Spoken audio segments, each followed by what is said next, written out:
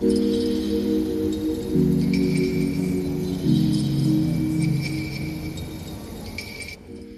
what do you do when it's a very late winter, a long, long winter, and spring is having a hard time arriving? Well, you just embrace it. So, we came up to Garden City here in Bear Lake for a family reunion and check it out. It's like a winter wonderland here in April, but we love it. We're having a great time, and why not? If it's going to be snowy, just give it a big hug and let's take it in.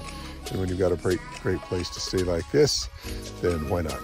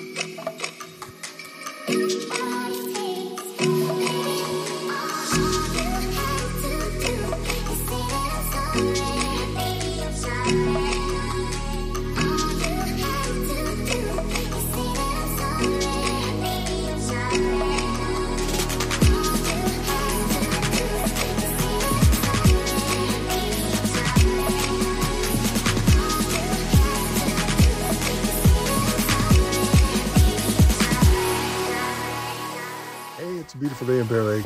Check it out. Here we are in April, what is it, 22nd? A couple days away, at least a week or so away from May. Check out the snow. We've got snow up on the roof, causing problems. And that lake out there, oh my gosh.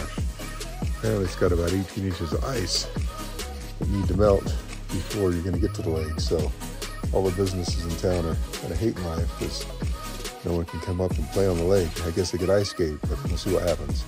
All right, there you go. There's our vacation in Bear Lake, escaping from the uh, cold clenches of snow in Rexburg, Idaho, and coming to Bear Lake, actually Garden City, Garden City, Utah. Beautiful place. Right now it's beautiful with snow.